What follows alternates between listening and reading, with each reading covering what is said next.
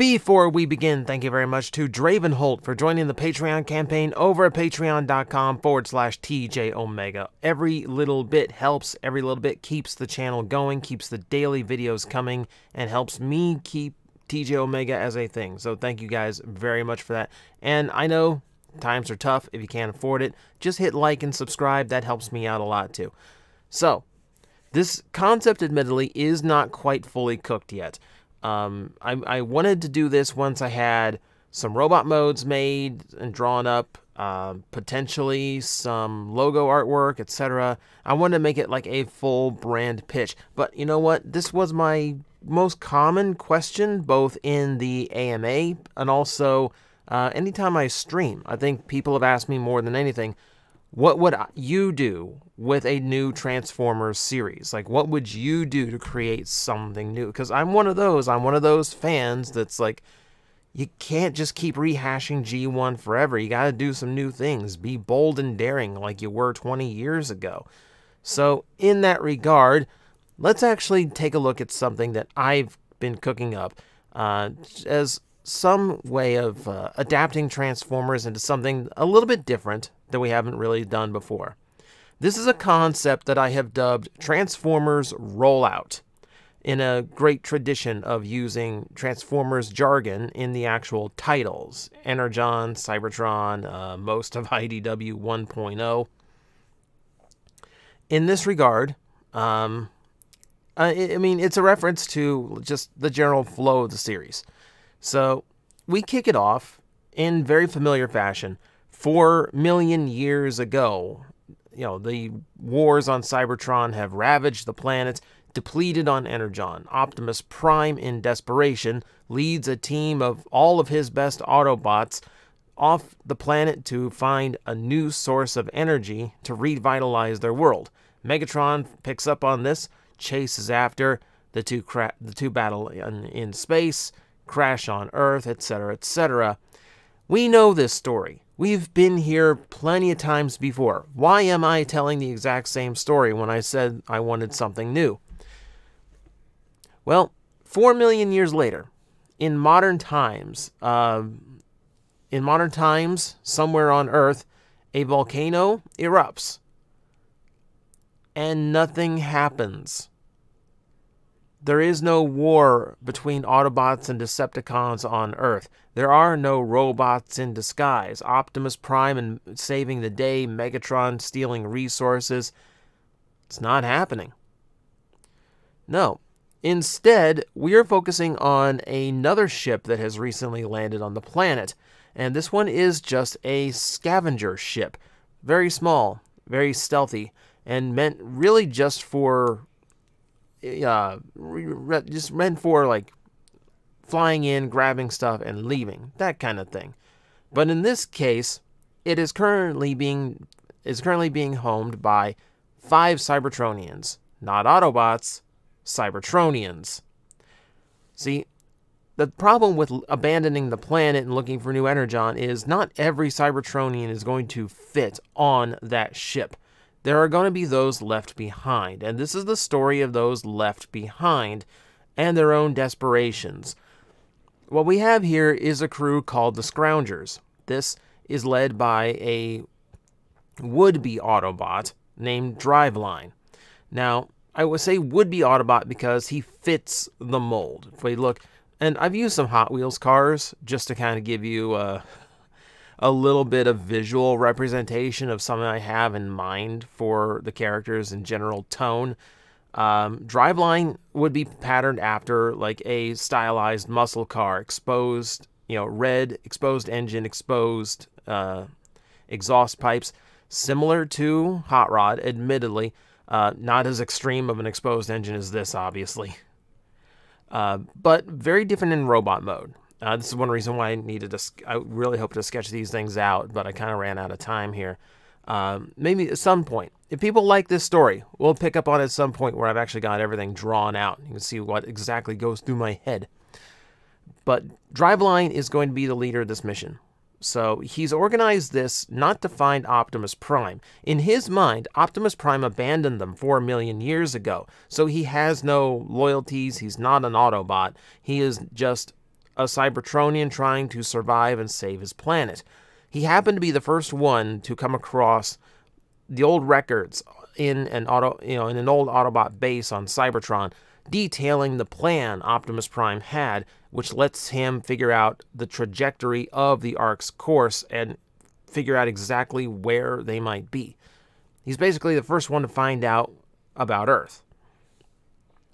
He organizes this team not to find Optimus Prime, but to find the matrix of leadership, because he, you know, Prime in his mind, Prime abandoned them. He he could he could join the Matrix for all he cares.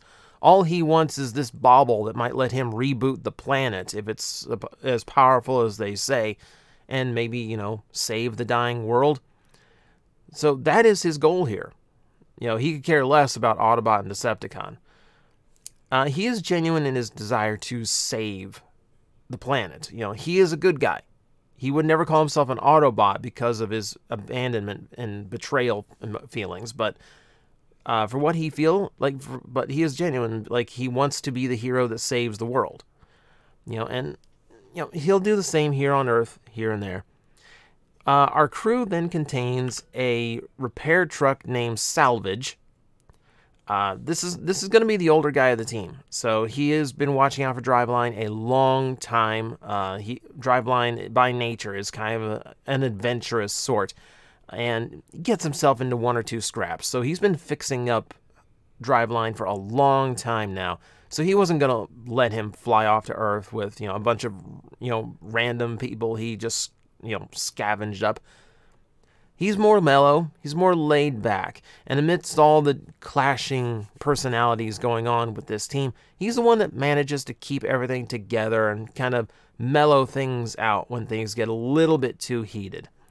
Um, of course, he also he also provides you know the ratchet role of being in charge of you know repairs and such, but he's not going to be like the old codger type. You know, he's like mellow grandpa. Um, he's been around long enough to actually remember the Great Wars. So he is very adamant about this mission to not only like revitalize planet Cybertron, but also prevent these wars from ever happening again. There is something in my head that says if he were to actually, he's mellow, he's laid back, but if he were to actually discover Megatron, you know, stasis lock or functioning, if he's any sort of alive and vulnerable, probably just end it. So he's got he has a little bit of an agenda himself for the greater good, but it's kind of a twist that he's got this like old war veteran side to him he doesn't want to revisit.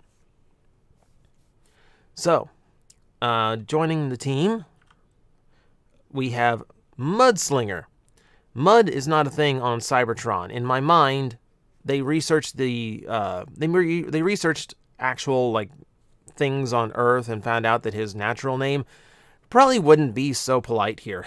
So, so Mud Slinger it is.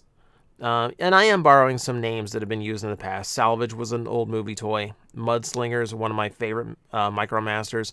Um, these are names that have existed before, just to, for the sake of sounding familiar, but they've never been major characters. So at least not in America.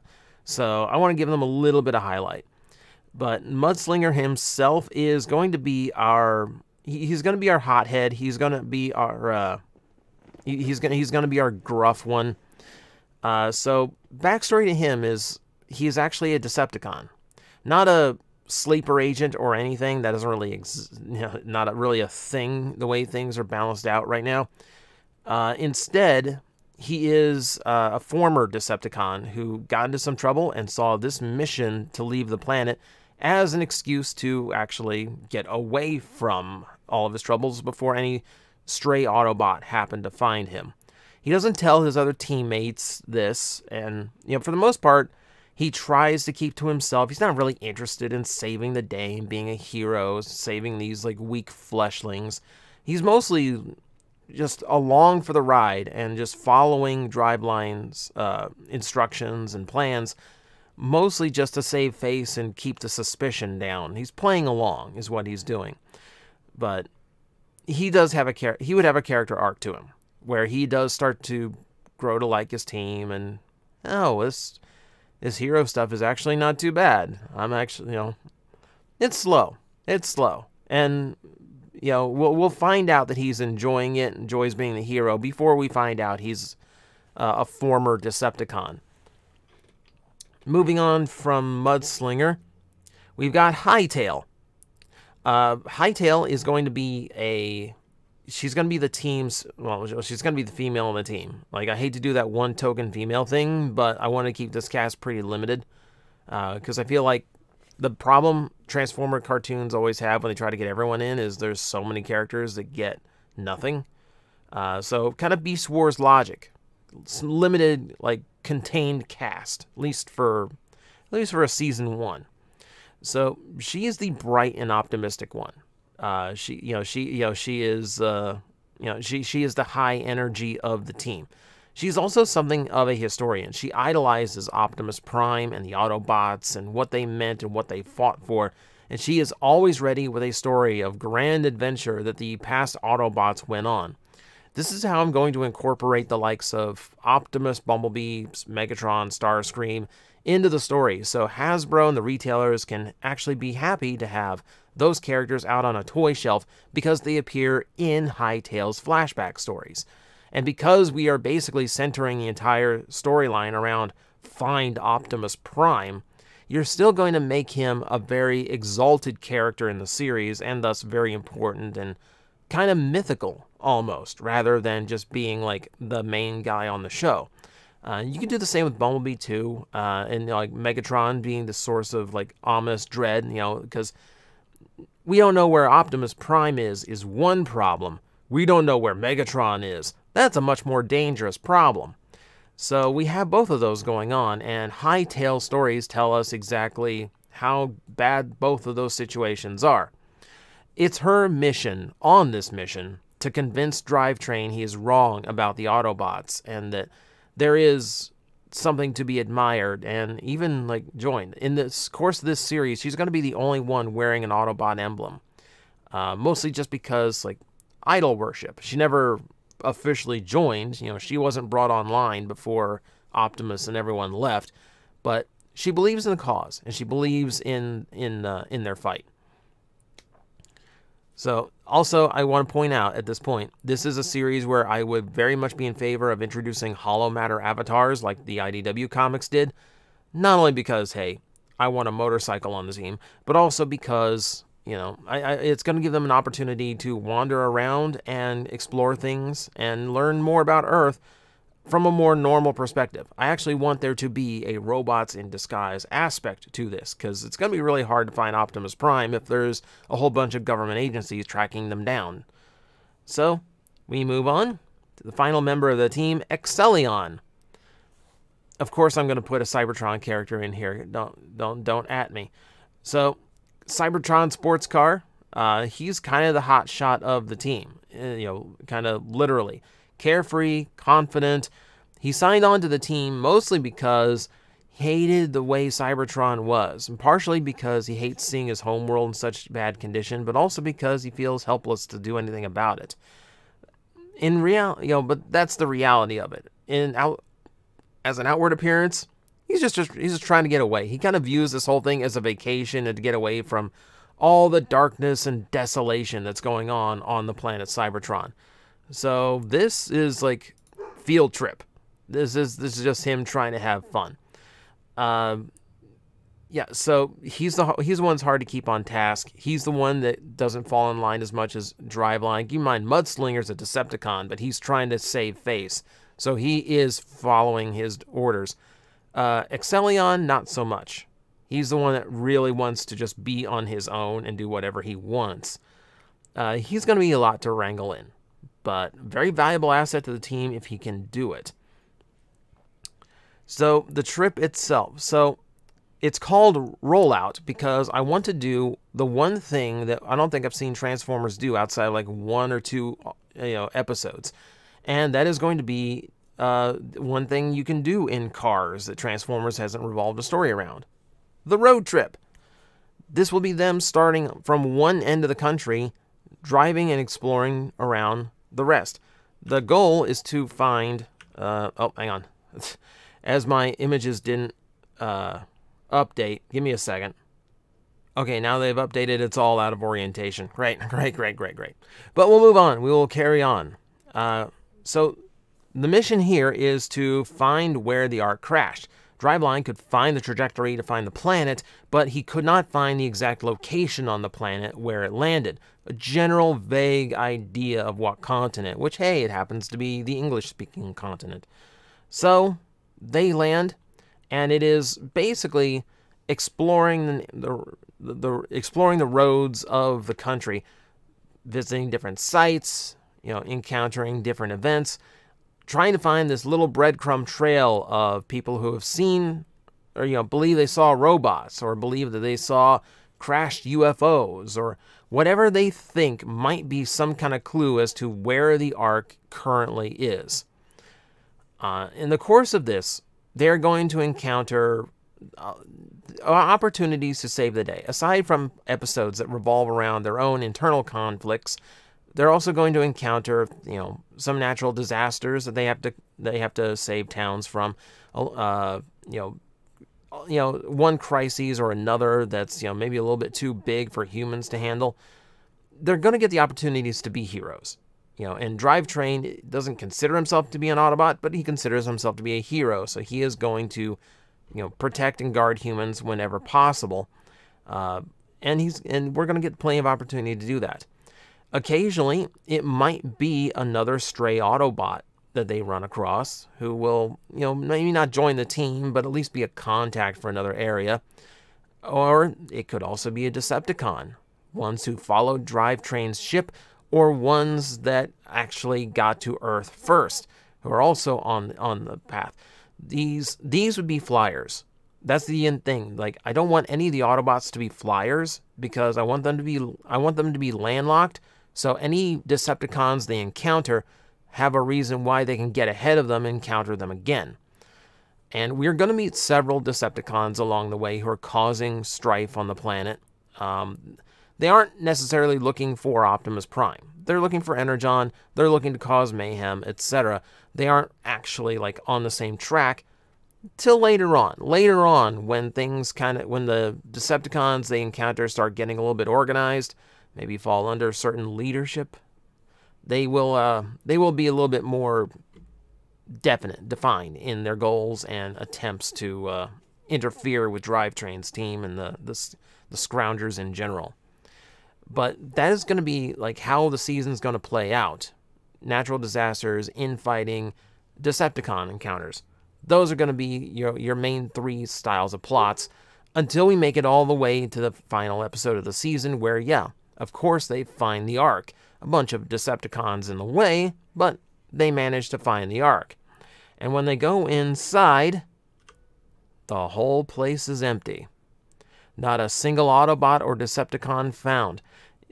We spent this whole season finally trying to track down the Ark, and when we actually do, the main goal of the whole thing is not there. The road trip continues into season two as we go from what happened to the Ark to what happened to Optimus Prime. Where is he now, and where is the Matrix on Earth? Reactivating Teletran 1 is going to give them a little bit of a breadcrumb trail to follow again. And again, along the way, we're going to re encounter some of the Autobots that they ran into from season 1. They're going to join the road trip at that point.